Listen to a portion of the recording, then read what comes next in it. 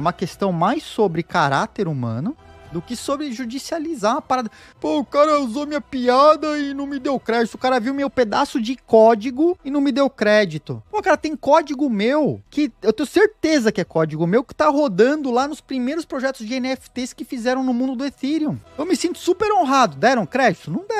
Mas como que eu vou provar que os caras viram o meu código? Sendo que o código, pô, ele se transforma, as coisas vão sendo copiadas e vão passando de um para o outro. O que pode ter chegado nos caras pode ser uma vaga lembrança daquilo que eu fiz lá atrás. Eles não necessariamente tiveram contato direto com o conteúdo original, né? Mas e aí? E, e, e eu usei o meu conhecimento. E o meu conhecimento veio de coisas que eu aprendi, de experiência e coisas que eu vi no mercado ou que eu aprendi com alguém. Imagina que loucura. Não dá, né? Não dá. Então minhas coisas já coloco lá como como código aberto. No máximo quando é, com, é conteúdo assim que nem vídeo. Não dá, tem, não, não é código aberto, então tem Creative Commons para isso, né? Então eu já coloco lá como Creative Commons os vídeos, é, todo o conteúdo que eu publiquei, as músicas. Quer, quer baixar a música, quer copiar a música do, do Spotify? Já deixei registrada ela como modelo aberto já para ninguém encher o saco, mano. Você você quer usar no seu vídeo? Usa no seu vídeo. Você não vai, você não vai, não vai tomar copyright, não vai tomar takedown, não vai tomar strike, não vai tomar nada. Tem coisa mais chata do que você achar uma música legal, aí você coloca a música num vídeo seu, ou um pedacinho, segundos, segundos, 10 segundos, 5 segundos, e o seu vídeo toma aí um strike porque você usou conteúdo dos outros. Ah, vão se lascar esses caras, mano, né? Criador de conteúdo, mas ninguém pode ver, ninguém pode gostar, ninguém pode usar.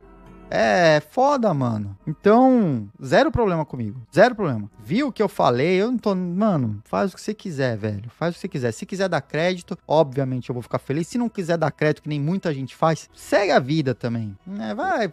É, se o conteúdo tá passando adiante, eu já tô, já tô feliz. Já tô feliz. Tá?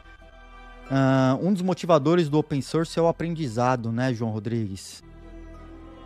É, o Bitburger ainda mais em programação, né? Na vida nada se cria, tudo se copia, ainda mais em programação. Pois é, imagina se a galera do Stack Overflow viesse atrás para olhar onde os snippets de código do que, que a galera publicou como resposta, ajudando a resolver problemas do, do Stack Overflow, viesse atrás. Isso aqui foi eu que fiz pra te encher o saco.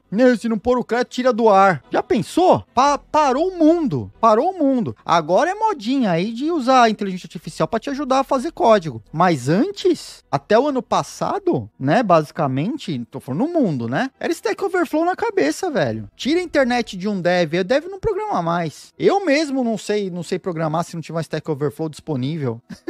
Pô,